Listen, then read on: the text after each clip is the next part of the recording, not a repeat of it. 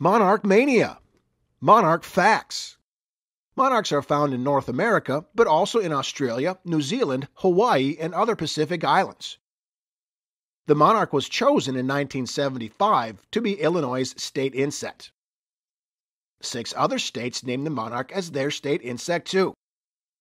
Monarchs can be found statewide in weedy areas, prairies, roadsides, pastures, and marshes. The adults feed on flower nectar, and the larva eats milkweed plants. There are four stages in the life cycle egg, larva, pupa, adult.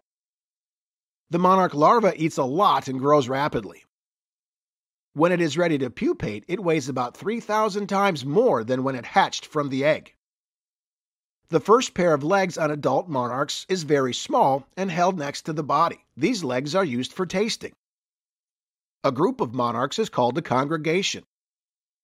Experiments have shown that monarch adults prefer orange flowers to those of other colors when searching for nectar.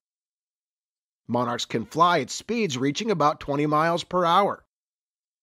They travel from 40 to 100 miles per day when migrating, gliding on favorable winds to help speed them along. Monarchs ingest poisons from milkweeds that they eat during their larval stage. The poison stays in this insect's body through the larval, pupal, and adult stages. Cardiac glycosides induce vomiting in predators, and cardenolides are bitter tasting.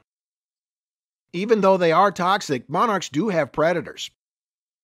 Two species of birds and a species of mouse prey on monarchs at their overwintering site in Mexico. A parasitic protozoan is transferred from generation to generation in monarchs too. Monarchs produce several generations each year, with each living only a few weeks, except for the generation produced in late summer or early fall. This generation migrates to Mexico and can live for about six months. Monarchs in North America are the only butterflies with a predictable annual migration.